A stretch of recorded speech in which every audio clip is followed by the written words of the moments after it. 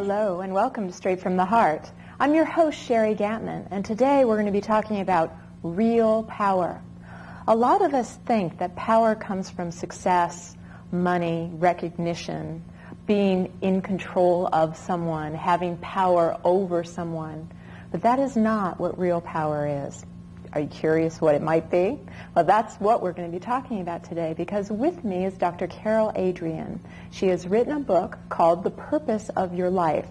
And it's one of those books that I have to tell you I've read now twice because I find it so significant to my life and almost everyone I work with. So it is such a pleasure to have Dr. Adrienne here today.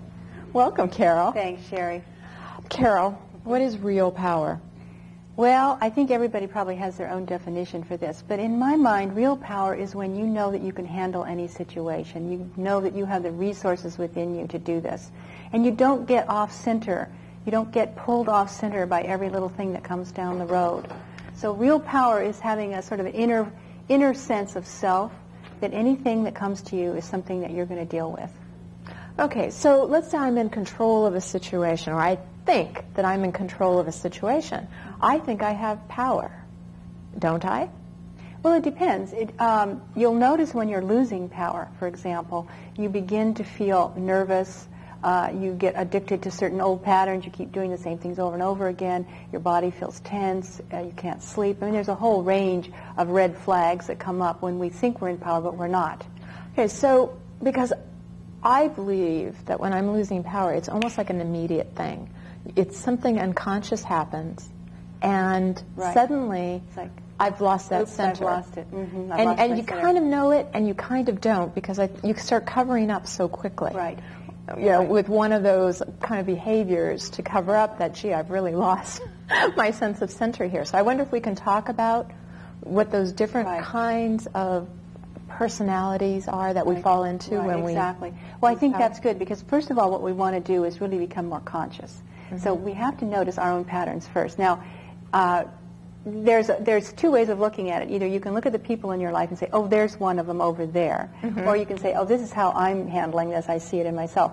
The first one where we lose power instantly is when we see ourselves as a victim. And you, you'll notice this in other people, and then you'll notice it in yourself. So first you'll notice it in other people. And these are the people who are always retelling the painful past. You know, how many times do you hear people say, oh, well, you know, when I got divorced, I mean, that was 20 years ago, and they're still talking about it, right? Or even if it was six years ago, it doesn't matter. But it's the idea that you're always spending a lot of time looking, looking to the past mm-hmm. and retelling that as if it justified everything in your now present. Mm-hmm. Like you can't have good things happening to you because you had such a terrible childhood.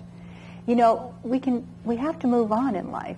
Mm-hmm. And so if we stay a victim, that's one of the main ways that we lose power. And in our culture, that's very easy to do because think about the news reports every night.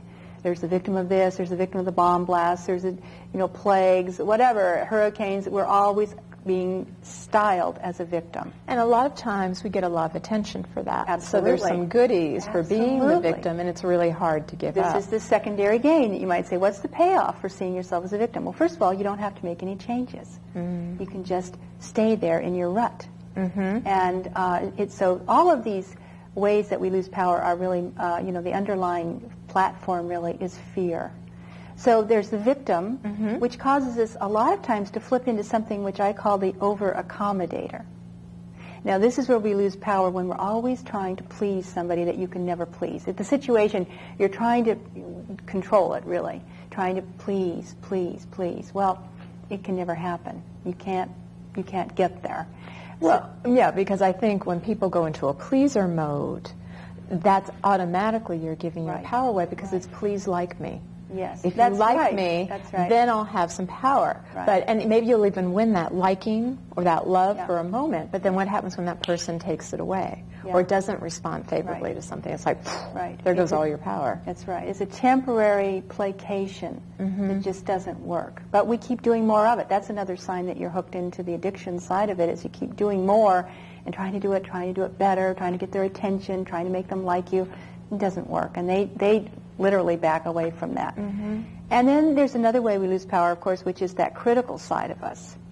we become yeah. very critical. Now, there's a lot of people who use that as their primary mode of trying to stay in control and to get energy and attention by being very, very critical of everything that you do. Mm-hmm. And I guess one of the problems with being critical is we might be critical outside. Oh, look at how she's dressed, or look at that red suit. I'd never wear a red suit. Yeah. But inwardly, we really do the same thing. Yeah. So whatever we're judging out there, we're also judging inside. Right. So okay, so those people, because I know a lot of people who do secretly admit that they're really critical. Right. That they kind of sit back and they've right. got their well, arms what crossed. They, they feel this sense of momentary power when they have the one-up hand. Mm-hmm. They've made a point. They they get the power from feeling self-righteous. That is not true power. That's just a momentary head trip that really doesn't get you where you want to go. Mm-hmm. And it and it really you lose power because you're not really using your full capabilities when you're in that place. You're in a rut. Well, and your heart is closed. Yes. So there's not really a chance for connection. Absolutely. What happens is actually the connection that you really want, you're absolutely cutting it by mm-hmm. separating yourself from them and judging them. So it's really, um, it's really very debilitating for you. Mm-hmm. And um, so, what is another way we lose power? Uh, well, uh, let's see. We have the victim, the over-accommodator, the interrogator. We we lose power when we become aloof. We sit back now this is a little different. We may not be overtly criticizing someone, but in our heads we are. So we're sitting back and we're being very critical and very um, secretive, maybe suspicious. We're not letting people know where we are so that we think we can get, keep the upper hand. And in fact, we're not. We're, we're really losing. We may have a great person that has all sorts of messages and information and opportunities that could move us forward. And uh, I have a great friend who does that. He keeps his phone turned off all the time on call screening. Mm. And I said, why do you do this? Well, he doesn't want to talk to his creditors. But on the other hand, he's not allowing, you know, energy to come into him that might might mm-hmm. uplift him in some way. So is I'm shy also aloof? Like for people who uh, go, shy is a shy. version. Yeah. It, it, well, if you if you justify everything by saying, well, I can't go to parties because I'm too shy. Uh huh. Okay, fine what does that really do? It just keeps you at home feeling sorry for yourself, going or, down the tubes. Or you may go to the power. party, but you stay in the corner. Right. You're, you're, not taking a risk to at least participate. And mm-hmm. you know, the real sign of power is when you're able to fully participate in life mm-hmm. instead of planning it to death. Now, that's where we get into the last behavior, which is controller. Mm-hmm. Now, we all do this to some extent, I'm sure. We, Wait, you're pointing at me. What is We all do this to some degree. What do we try to control? I had someone the other day was working the exercises in my book, and she said, "You know, I found out what I try to control is time. Mm-hmm. That's that's that's a that's biggie. Mine. That's a biggie. Trying to control time, uh, trying to call, control other people and situations where you cannot control them. Now, this is different than having self-control and self-discipline, which of course is is good. That's good to have some self-control in situations. But when you're trying to control other people and uh, set everything up so nothing goes wrong and you know and always feeling that if you don't control something horrible will happen this is this is when you really lose power because you can never ever get the kind of power that you want by that mode of thinking what about always giving advice is that control? That's a form of control. Yes, very good. That is. Yeah. Talking too much is the same form. It's just another version of that. Mm-hmm. Trying to control a situation by just talking continuously to get the attention coming to you. Mm-hmm. And I've noticed that in some of my group work. And there, there often is somebody who just talks compulsively almost as a, and that's their way of controlling the energy there. But it's interesting because a lot of times people play into that as well. Mm-hmm. You may not even want to be in control, but people turn to you or look to you and say, here, take control. And they may not say it right. verbally or right. with words, but they're asking you a lot of questions. They're asking a lot That's of advice. Mm-hmm. Or there's a vacuum and someone has to fill it. Mm-hmm. So it, there's a lot of seduction for going into control. Now, what I'm talking about and what you're talking about, how is that losing power? Is that, what I'm talking about, is that a way we lose power? the way to have power is to stay in the moment and say, okay, here I am, what's the situation, uh, looking around, what are my options, mm-hmm. and then taking some action. That's being a powerful person in the sense you don't have power over others, but you have power to deal with what life is giving you in the best way, the best way that is the higher good for yourself and for the situation. You're making, you know, your intuition is your power. Mm-hmm. Listening to your intuition and really saying, oh, you know what? My first impression told me not to do so and so, and what did I do? I went ahead and did it anyway. Well, learn from that. Mm-hmm. Learn to trust your intuition. That's, that's powerful. Learning to trust that. Um, no, keeping yourself in good health is powerful, actually. Mm-hmm. If you're stressed out, you're tired, are you powerful at that moment? No. You don't have the resources. You're drawing on your you know, your reserves. And in that instance, you're not going to be at your best. Sure. So it's being able to take control of your own life. Right. In all of those situations. Mm-hmm. So what you mentioned earlier, and I want to focus a little more on that, is underlying all of these stances we may take, victim mm-hmm. or the critical person or aloof yeah. or the controller, is fear. It's fear that we're going to lose out. It's focusing unconsciously that there's a scarcity that there's going to be a lack. I don't have enough of love, attention, money. I don't have enough. So you're, that's driving you. You don't have enough. So you don't really trust that you can get your needs met. And the only way you can get your needs met, you fall into these old ways. Well, I better whine like a victim so people will think, oh, poor her, I'll give her a break. I'll give her a discount. I mean, how many times we go in the store and we sort of whine a little bit, hoping that the clerk will give us a. This is so unconscious. It's pathetic, is what it is. but we do it. So what we're talking about here today is how can we become more aware of that? So noticing some of our behaviors. Okay, know. so you, I I actually Xerox this from uh-huh. your book so we could talk about because I thought these yeah. were very cool. You made lists of right. unconscious behavior mm-hmm. patterns that we fall into that pull, right, try, we try to pull energy mm-hmm. from others with this in an unconscious way rather than just right. asking for our needs to right. be met directly. So let's start with the first thing, lack of discernment and good judgment. So right. some of the things, like do you jump into a friendship yes. or intimacy yes. too fast? That's right. Yes, I think we all have that sense that we find somebody, oh, we want to, we'll just jump in there. We think they have something that will help us. It's really as simple as that. We think they have something that we need, and so we grovel, we jump in too fast, we do anything it takes to get close to that person.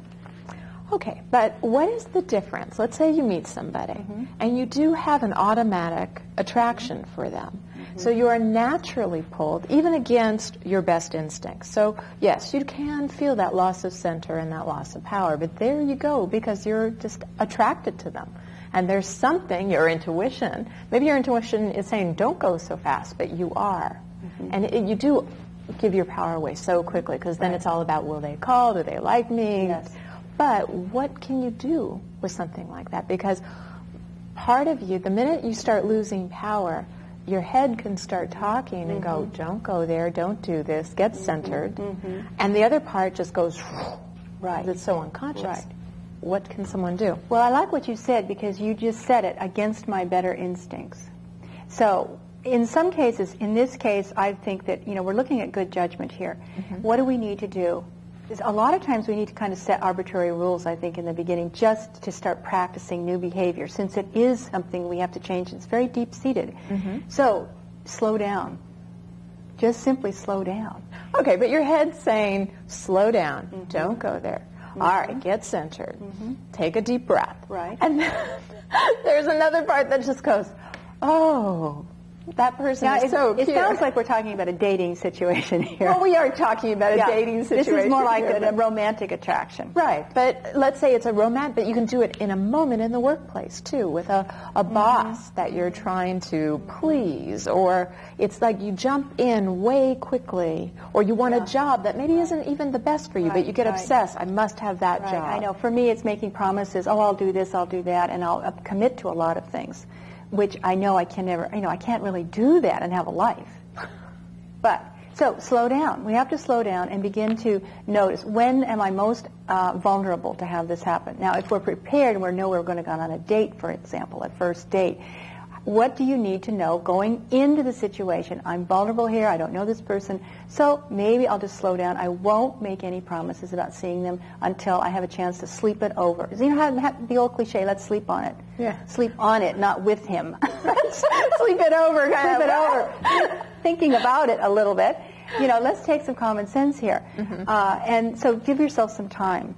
Don't, uh, especially, don't commit when you're tired this is a big one for me. Mm-hmm. When you're tired, you paradoxically, you tend to commit to more things rather than being rational and saying, well, you know, I'm tired. Maybe I should slow down here and not commit to so many things. So using good judgment is really paramount. It's really noticing who am I in situations where what do I where do I tend to lose my center? Mm-hmm. Let me notice that uh, I'm going out here. I'm starting to build fantasies about this person. I'm trying to see them in a good light. They're not even telling me this stuff, but I'm making this up in my head. Uh-huh. Notice that what's going on in your head. What is your internal dialogue? Is it way out there making this person look pretty good? Well, we know that not everybody is so perfect. right. Let's have a little reality check here. Now, I can say this to you, and you know, you would, we, what we're talking about is unconscious patterns. So mm-hmm. uh, we have to keep practicing this. Okay, so hold that thought. Okay. If you are just joining us, you're watching Straight from the Heart. I'm your host, Sheri Gantman, and with me today is Dr. Carol Adrienne, and we are talking about real power and also ways we unconsciously lose it in a flash and what we can do about that. So, Carol, besides lack of discernment mm-hmm. and using our good judgment. Mm-hmm. What is another way that we lose power?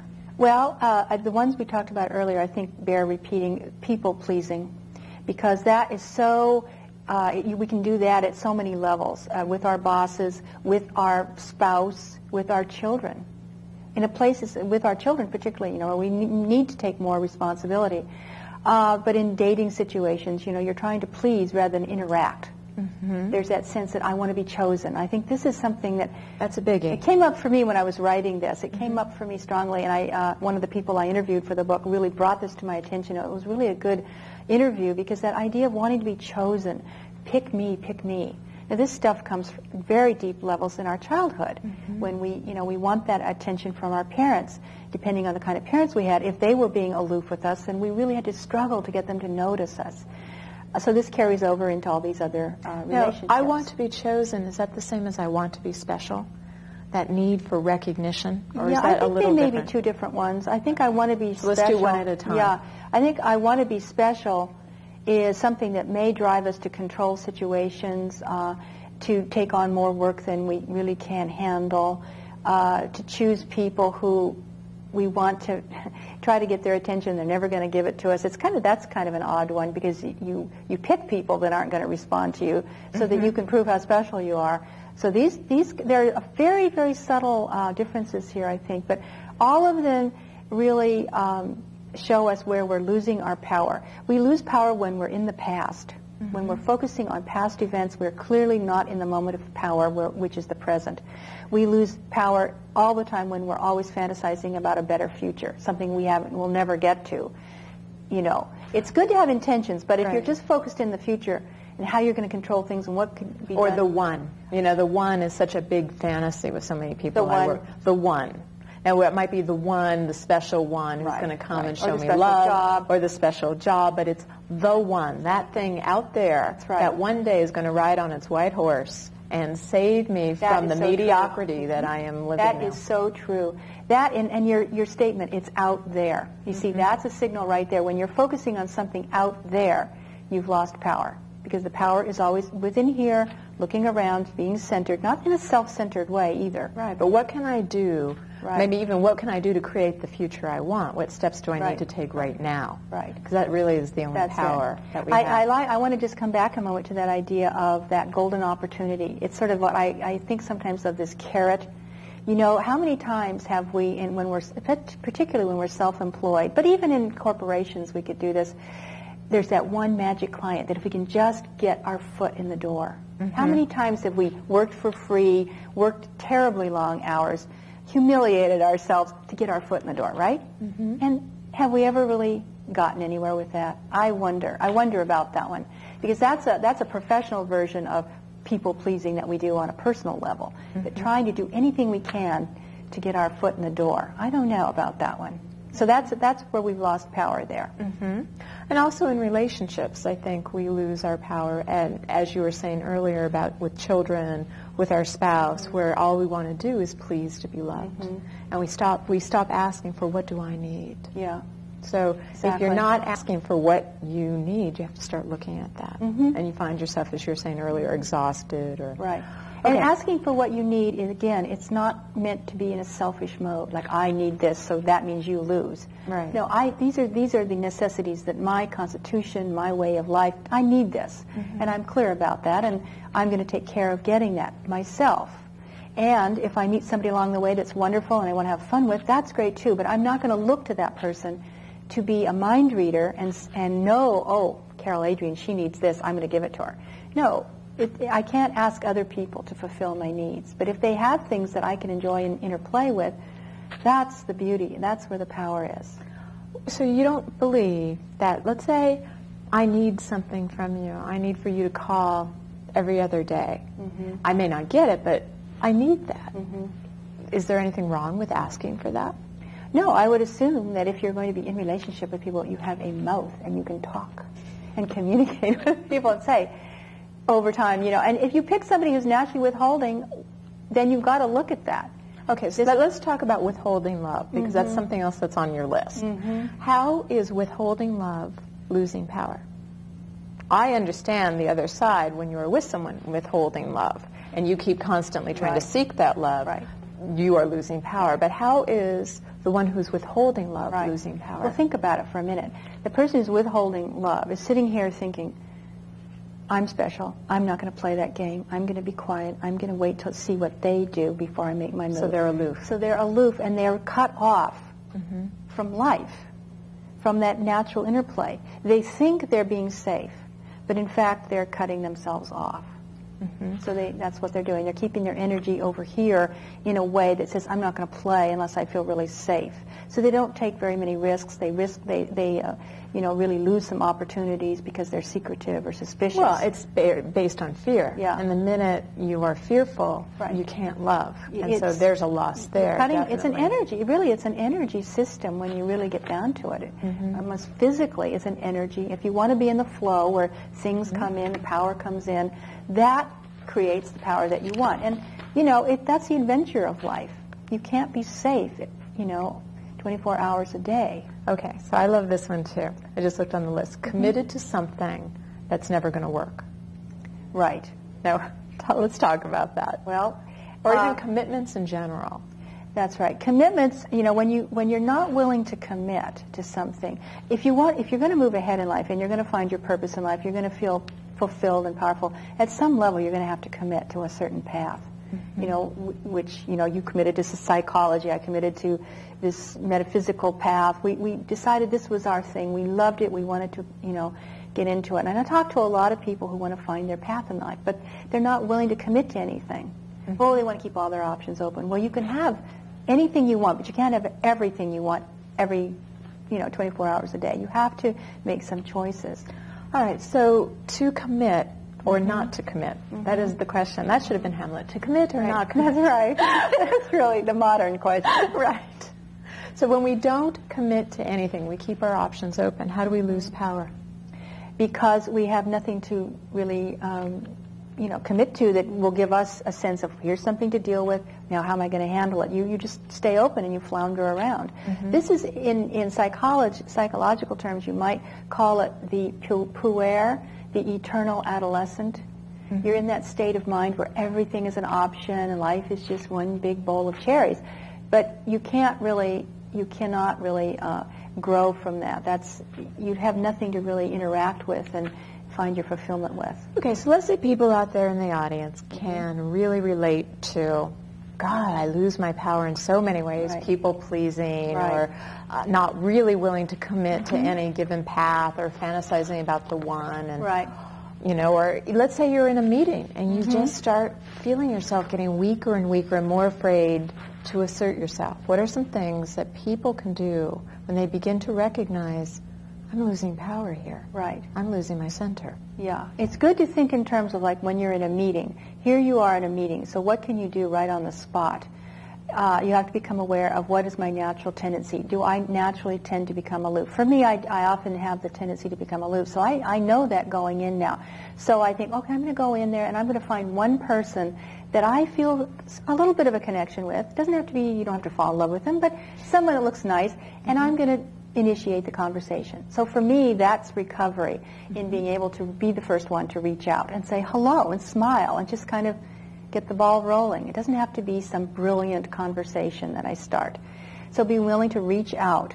Uh, staying centered physically is a, is a very big one. Sometimes I tell my clients to just physically take your palm of your hand and put it right on your solar plexus unobtrusively. You don't have to make a big deal of this, but just kind of put it right here mm-hmm. because that will bring your energy center into focus. You'll mm-hmm. be okay. Here I am in my center. We know that that is energetic. Probably to breathe and start breathing. And okay, you know, mm-hmm. notice what your internal dialogue is. Mm-hmm. I have seen myself go into meetings and I can listen to the little voice in my head that says, "Oh my goodness, look at that person. They look very uh, imperial. They're very, uh, you know, they, they have the degrees, they have the stature. Oh, they're the uh, vice president of research and development. Oh my goodness, they have more information than I do. They're going to be smarter than I am.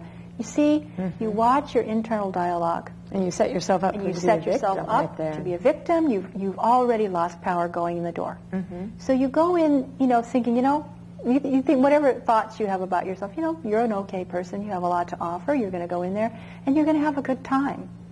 Uh, one of the people I interviewed in the book actually is an actor who went into for a big audition. He actually is a very well-known actor mm-hmm. on uh, the TV, and uh, he had read about these ideas and went in and decided he was just going to have a good time. And you know, that's what got him the he got the part. He went home and he had the part before he even got home. That's great. And he just felt good. So coming in with a sense of feeling up, good, optimistic, letting about life show you. Are.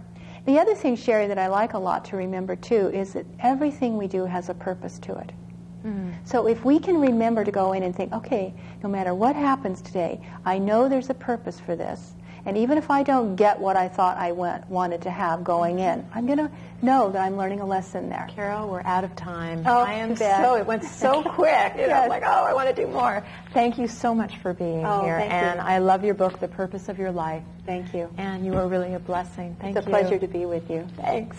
And to you, my wonderful audience, start tapping into where your real power is, and that's being you and letting you out. Remember to stay centered and go in with as much of your being and letting yourself shine as possible. That's your real power. God bless, take care, and we are going to catch you next time. If you have any questions for Carol or me, there's a number at the end of the show. Please call. Bye-bye healing, growing straight from the heart,